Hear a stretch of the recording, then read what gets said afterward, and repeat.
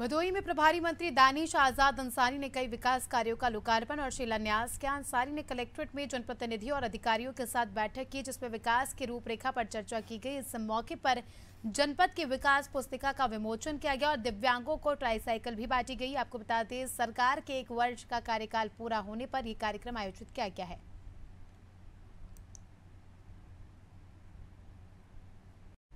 कांग्रेस के पास कोई मुद्दा नहीं है। विपक्ष बेरोजगार है। राहुल गांधी जी ने कांग्रेस ने तमाम कोशिशें कर ली जनता का ध्यान अपनी तरफ़ आकर्षित करने के लिए, जनता का विश्वास जीतने के लिए, लेकिन जनता को उनको विश्वास नहीं है। उन्होंने अभी पैदल यात्रा भी की थी, जिसका परिणाम आप सबने देखा कि जहाँ जहाँ वो यात्रा पे गए, वहाँ वहाँ कांग्रेस खुद टूट गई।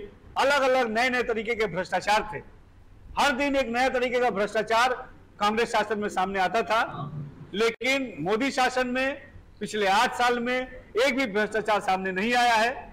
हमने ईमानदारी से जनता की सेवा के लिए, जनता के हित के लिए, देश की तरक्की के लिए, देश के विकास के लिए काम किया है।